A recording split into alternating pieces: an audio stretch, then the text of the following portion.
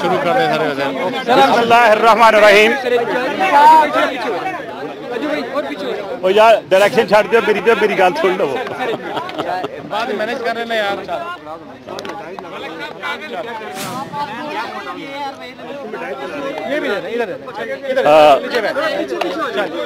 بسم اللہ الرحمن الرحیم۔ مجھے بخوبی معلوم ہے کہ آج میرے نقاد، میرے دوست اور پورا میڈیا اس چیز کا منتظر ہے کہ میں کیا کہنے جا رہا ہوں۔ پہلی سٹیپ جو ہے وہ آپ کے سامنے ہے۔ لوگ کہتے تھے رحمان ملک ملک سے باہر سے نہیں آئے گا اور وہ کوئی چیز پیش نہیں کرے گا۔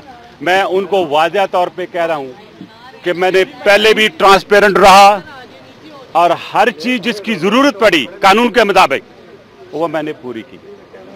میں اس ساری رپورٹ کو اون کرنے جا رہا ہوں۔ ان لیٹر کو بھی اون کرنے جا رہا ہوں اور میں دو لیٹر اور اس پریزیڈنٹ کو جو لکھے تھے ود ایویڈنس دینے جا رہا ہوں۔ اور اس کے علاوہ بہت سے لوگ کلیم کرتے رہے اس انویسٹیگیشن میں، لیکن کیونکہ یہ ایک انٹرنیشنل انویسٹیگیشن ہے، جس میں ہمارے انویسٹیگیٹرز کا اگر میں نام نہ لوں گا تو وہ زیادتی ہوگی۔ دس انویسٹیگیٹر تھے جنہوں نے میرے ساتھ یہ انویسٹیگیٹ کیا، میری ٹیم کا حصہ تھے۔ ایک وسیم احمد ڈیپٹی ڈائریکٹر ایک احمد ریاض شیخ تھے اس وقت کے deputy director Sajjad Haider A D تھے اس وقت، محمد ریف جو اس وقت باہر ہیں، بشارت شہزاد جو آج کل اے ڈی جی ہیں، اور کامران عطاء اور جاوید حسن، غلام اسکر جتوئی، شوکت علی، اللہ ان کو جنرل نصیب کرے ثناء اور جو لوگ چار شیٹ ہوئے اس انویسٹیگیشن کی بدولت،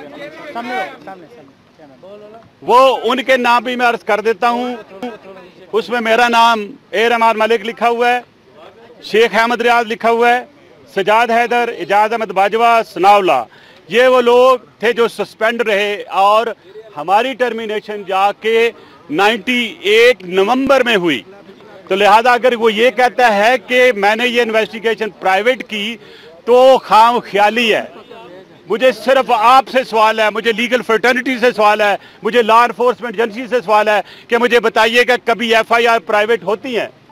چودہ پندرہ انکوائریاں تھیں، اس میں پانچ ایف آئی آر درج ہوئیں اور پانچوں کی پانچوں کورٹ میں پیش ہوئیں۔ کورٹ میں ان کی ٹرائل ہوئی کورٹ میں وہ کیس کلوز ہوئے، ان کی ڈیٹیل بھی انشاءاللہ جے آئی ٹی کے پاس جائے گی۔ اور فائنلی میں یہ کہوں گا کہ میں اس وقت نکلوں گا باہر جب جی آئی ٹی فلی سیٹسفائیڈ ہو جائے گی ہر وہ کوشچن جو منی لانڈرنگ پہ ہے۔ میں تھوڑی چیز مارس کر دوں۔ کچھ کلیم کرتے رہے لوگ۔ کوئی سیز کرتا ہے کوئی میمو کے بناتا ہے یعنی سیز میمو بناتا ہے۔ تو میں ایک عرض کر دوں کہ we are talking about money laundering money laundering case جس میں منی لانڈرنگ کی ٹریل کی بات ہو رہی ہے۔ اور ویسے تو ایف آئی اے نے سینکڑوں انکوائریاں کی میری سپرویژن میں۔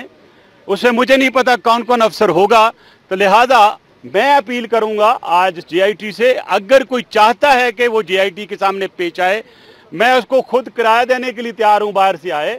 اگر وہاں سے کسی کو لانے کی ضرورت پڑے تو میں وہاں بھی مدد کر سکتا ہوں۔ اگر کسی کے خلاف کوئی یہاں کیس ہے، تو وہ بھی میں جی آئی ٹی کو ریکویسٹ کروں گا کہ ان کو جا کے سن لیں۔ لیکن آج کے بعد جو میں کاغذات دوں گا میرے حالے کسی کی کوئی بات کرنے کی گنجائش نہیں رہے گی۔ کیونکہ میں اپنی قوم کے ساتھ انصاف کر رہا ہوں، میں اپنے پروفیشن کے ساتھ انصاف کر رہا ہوں۔ آج میں بسیت additional director general F I A پیش ہو رہا ہوں۔ میں منسٹر سے نیچے آ گیا ہوں آج۔ میں اپنی پوری پوزیشن نیچے آیا ہوں اور اس کے لیے میں صرف اور صرف اس چیز کو ڈیڈیکیٹ کروں گا اپنے چیئرمین بلاول بٹو زرداری صاحب کو اور میرے کو چیئرمین یعنی پریزیڈنٹ پاکستان پیپلز پارٹی آصف علی زرداری جنہوں نے مجھے اس بات کی انہوں نے مجھے اجازت دی کہ اور کیونکہ میں پارٹی کا حصہ ہوں میں ڈسپلن کو, کو مانتا ہوں انہوں نے مجھے اجازت دی کہ آپ ایڈیشن ڈی جی کے سی اے سے پیش ہو جائیں۔ اور آج کم از کم ہماری پارٹی کی جو وزم ہے بڑی صاف ظاہر ہے کہ آج اگر ایک افیشل چیز تھی وہ افیشل ہی جانا چاہیے۔ ہم بھی بڑے نمبر بنا سکتے تھے۔ میں ابھی ایک منٹ یار تھوڑا صبر کر لو میری جان، میں آپ کے لیے حاضر ہوں۔ حاضر ہوں میں، حاضر ہوں میں ادھر۔ میں نے دیکھا بہت سے سیاستدانوں کو اس پہ نمبر بناتے ہوئے۔ میرا ایک ہی سوال ہے ان سے۔ پہلے دن سے سپریم کورٹ سے لے کر آج تک صرف یہ میری رپورٹ ہی ہے۔ اسی رپورٹ کی بنا پہ بات کرتے ہیں۔ میں ہاکی کا پلیئر ہوں۔ میں کرکٹ نہیں کھیلتا ہوں۔ میرے گول ہوتے ہیں اور آج گول کر کے نکلوں گا۔ تھینک یو سر لوگ کہتے تھے کہ وطن واپس نہیں آؤں گا اور دستاویزات سامنے رکھوں گا۔ لیکن لوگ دیکھ لیں کہ میں ملک واپس آ گیا ہوں اور آج دو نئے خطوط جی آئی ٹی کے سامنے رکھوں گا۔ انہوں نے کہا کہ اس وقت کے صدر کو جو خط لکھے گئے، وہ خط میں اپنے ساتھ لے کر آیا ہوں۔ جے آئی ٹی جب تک مطمئن نہیں ہو جاتی، میں اس وقت تک کمرے سے باہر نہیں آؤں گا۔ مزید دو دستاویزات بھی جے آئی ٹی میں پیش کر رہا ہوں۔ یہ کہا گیا، رحمان ملک کی جانب سے وہ میڈیا سے گفتگو کر رہے ہیں۔